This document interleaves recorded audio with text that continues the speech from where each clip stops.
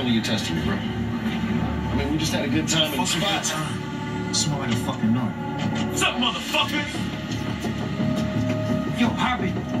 Yo, you don't, you don't want to do this, man. You're a fucking traitor, LG. And you ain't got no strap, so I definitely want to do this. Carol was my brother. Yeah, well, he shouldn't have come from my family. Hale was down for the DTG.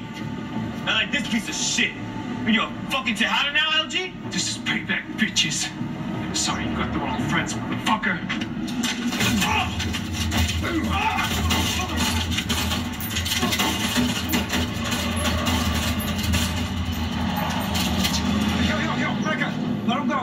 He ain't coming back. Oh, sh- chill.